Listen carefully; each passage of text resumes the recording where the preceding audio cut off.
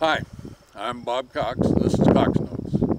Some of my more popular videos on YouTube are those that where I talk about my guns and my hunting and fishing and, and guns in particular. I enjoy talking a little bit about them. Today I'm going to talk about a couple of things. Back a long time ago when I was doing a lot of reloading and some competition shooting, I purchased a Chrony chronograph, and I used it quite a bit. Several years ago, I had a problem with it, and I sent it in to have it repaired.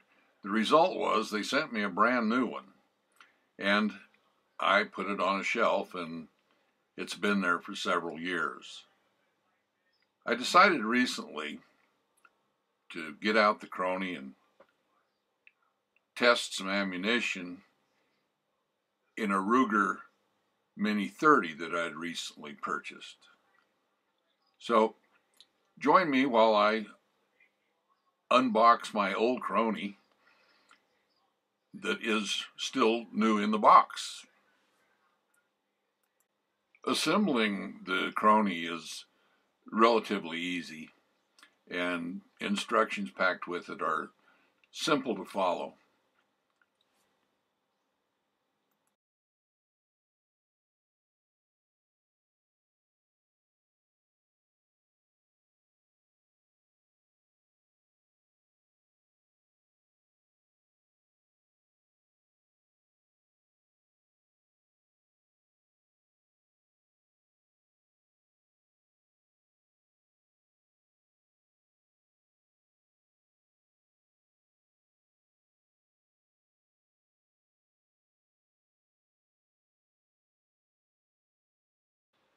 Once assembled, install a 9 volt alkaline battery and it's ready to use.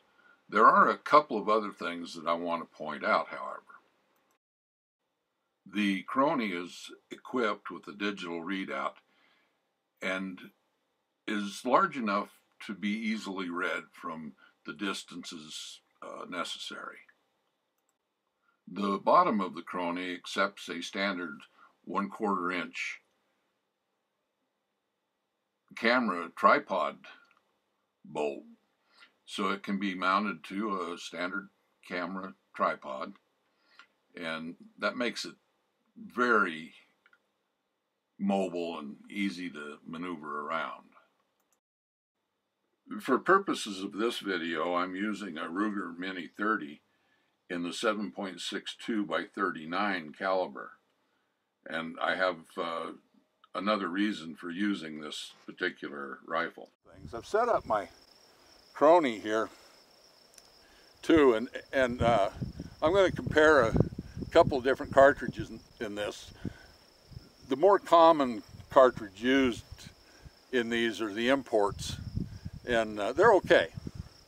But uh, some of the the Hornadys, those kind of uh, manufacturers make a little bit better, I think. And I'm going to test that out to be sure today.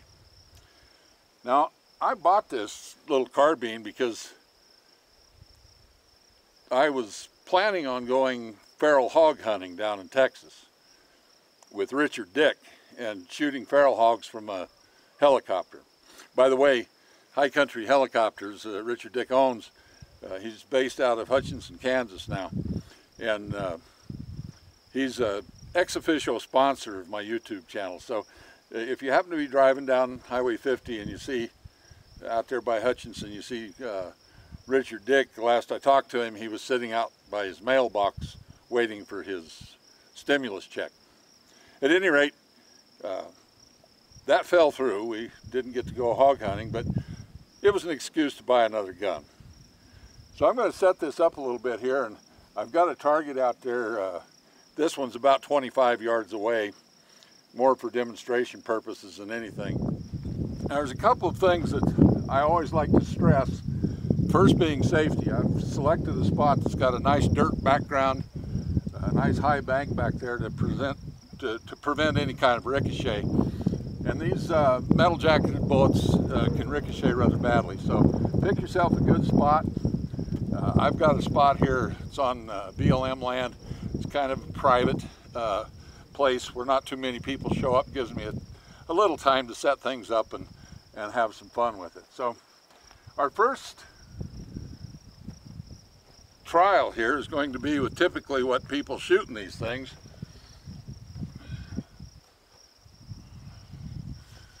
Relatively economical 7.62 39 and this is Tula, um, Tula ammo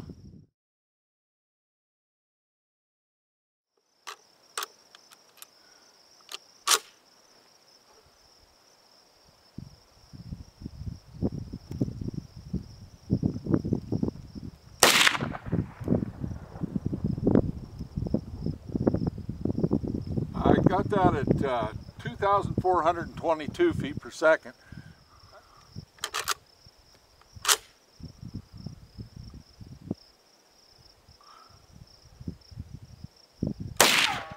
Second shot is at 2363.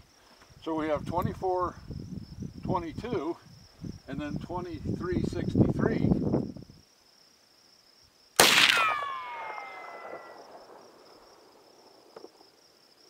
Okay, and now we have one at 2433. You probably heard the ricochet on that last shot. And I want to point out at this time that we always are concerned with safety. And in this case, I have a berm as a backstop back there. And beyond that, I have a very big hill. Always be cognizant of your backstop and where that bullet's going to go if it does ricochet. In this case, I feel relatively confident that we are in a safe area where it's not going to hurt anything. Included with the Chrony is a test record sheet that's very valuable, especially if you're reloading, to keep track of the results from each shot fired. Here I've recorded the results of the first three shots. Notice that while there was some significant deviation in those three shots, the average deviation comes out zero. I was rather surprised actually with this outcome, and even more surprised with what happened next. My next three shots were the Hornady SST, and the first shot was 2,344, the second 2,347, and then 2,349. We noticed here, and it surprised me, first of all, that the velocities were a little bit lower than the imported ammo, and also that there was a deviation uh, from average velocity of minus 1. So the bottom line is you can pick up one of these cronies for right at $100, give or take a few dollars. If you're a hand loader, I really recommend you have one in, in your equipment. Uh, if you're not a hand loader and you're still curious about certain things, it's a good way to establish a little bit of, uh, of a guideline on what type of ammunition you want to buy and, and for what purposes you want to buy it. So I'm going to talk a little bit more about the Ruger Mini 30 in another video. So until then, uh, subscribe to the Cox Notes channel and just have a wonderful day.